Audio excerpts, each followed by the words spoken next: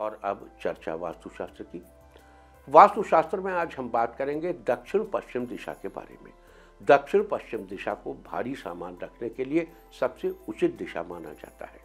घर बनाते समय ध्यान रखना चाहिए कि वहाँ के दक्षिण पश्चिम हिस्से को सबसे ऊँचा रखना चाहिए।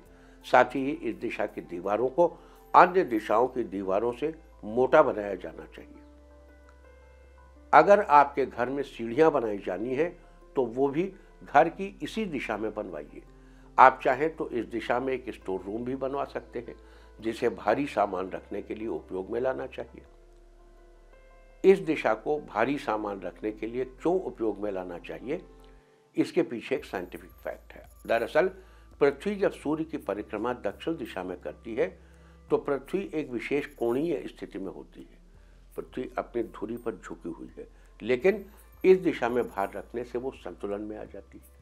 साथ ही इस दिशा में गर्मियों में ठंडक, जबकि सर्दी के मौसम में गर्माहट रहती है, जिसके चलते भारी सामान की ऊर्जा में भी संतुलन बना रहता है।